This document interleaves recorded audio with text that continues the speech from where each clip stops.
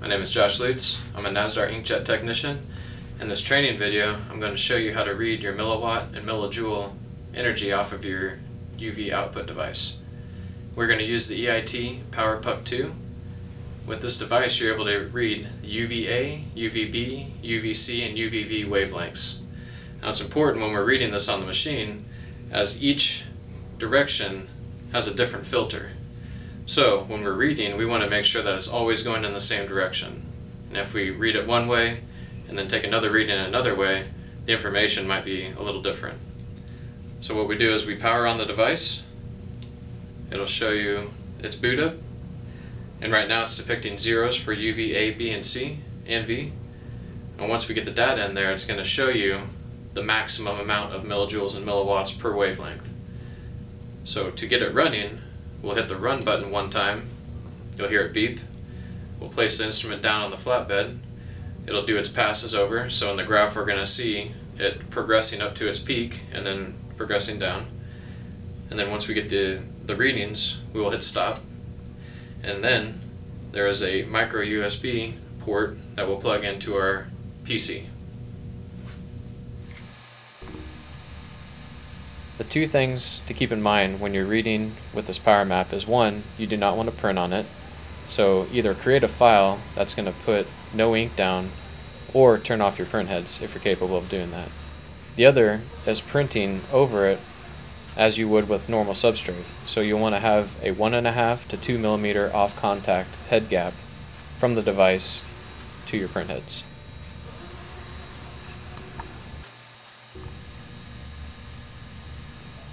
Now that we've captured the data, we now need to plug the device in to the PC.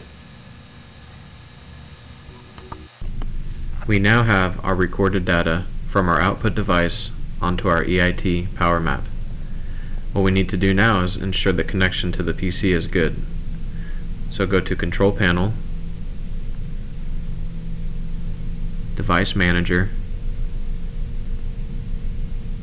and here you will see that our connection is not made.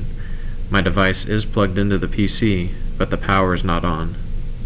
Therefore, turn the power on the device, and our control panel device manager window should flash. There we go. And now you can see the USB connection to the to the power map.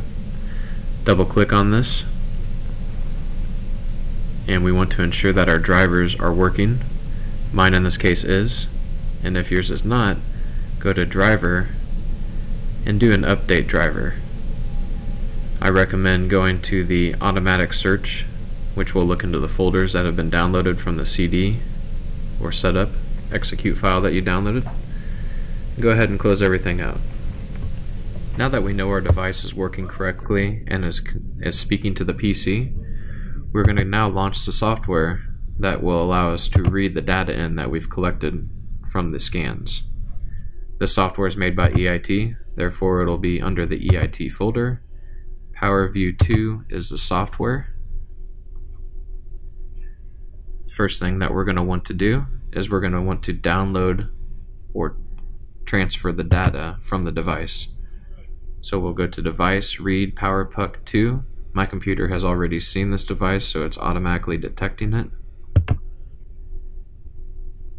If this window pops up, it will mean one of two things. One, your driver is not downloaded correctly, or two, the device is not powered on.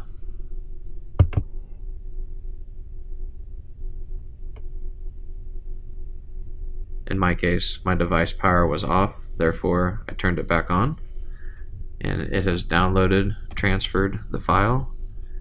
Therefore, they're asking for you to name it accordingly and then we'll hit OK.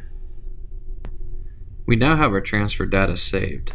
Therefore, we're going to go to Sample File. In the drop-down, we will find the appropriate file that we want to view. You can also reference this against another file. Most people would use this if they were comparing machine to machine, if they were comparing brand new bulbs versus aged bulbs. So say after three months of use, you want to see how your curing is lessening and you kind of get a good idea of your threshold for curing parameters. In this case, we're just going to look at a sample file, keep it simple. Um, for UV digital, we focus on UVA. For this particular device, we could also measure LED, which would be UVA2. But for here, we're going to we're going to stick with conventional mercury vapor curing bulbs. Now, what we want to do is zoom in on the chart, which is going to take a right click on the magnification and zoom all.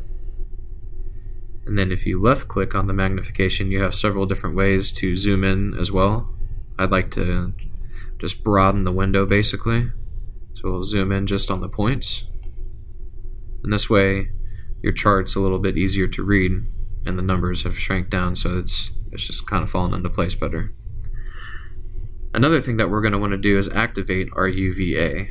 So right now it's not reading anything because the, the cursors are not turned on. So we'll want to, to drop down our menu and choose UVA and now it's reading all the information that has been given. If we'd like to zoom in on a specific zone, maybe the peak of our passes, we'd want to activate our cursors by clicking on the cursor button over here and right click on our cursors. Now if I didn't click on the cursor over here and you right click, we have grayed out sections. So activate cursors. You've noticed now that the cursors are not in between anything, so all the information has been lost. We'll want to center our cursors and let's just zone in on when the lamps were passing directly over the device. Therefore, we can see our millijoules are now down to 22 for that particular pass in bidirection. Notice milliwatts will hardly change if we move our cursors out.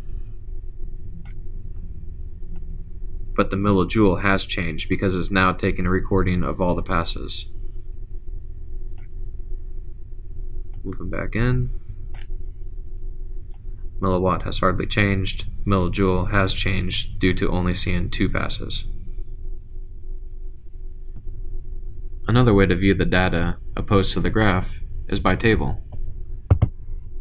By clicking on the table tab, you'll see you'll have the same information plotted from your reference over here. When we turn cursors off, the data changes just as it did on the graph. If you'd like to graph by bandwidth, you can also plug in your different files. This is a little bit more advanced. Um, so if you're trying to keep it simple by just getting an idea of what your machine is outputting, I would stick to the graph by file and only really only look at the graph and if you're going to print it, maybe go to this Excel style format, go to your print option, and print it through your, your uh, local printer. To wrap things up, what we have done is we have a device that can read UV energy through a printer's output curing lamps. We've connected the device to our software, transferred the data, and are now reading the data and understanding what we're trying to hit. Every ink manufacturer will have their own certain specification as far as what milliwatt and millijoule to obtain to cure their ink. The reason why this is important is because when the ink is in a wet form, it will not dry. It can only be cured by energy. Therefore, think of the ink as a recipe we have monomers, oligomers, photoinitiators, solids, whatever the ink chemistry is made of. These are suspended until a chemical reaction is occurring, which is caused by that certain power of milliwatt millijoule. Once that proper dosage is hit, things start to cross-link, and we call this polymerization. What we really need to do is get the energy to go through the ink and hit the substrate Therefore, this simple depiction of a bulb and a reflector is showing that the energy needs to focus down in a certain point and come back up and out through the ink layers.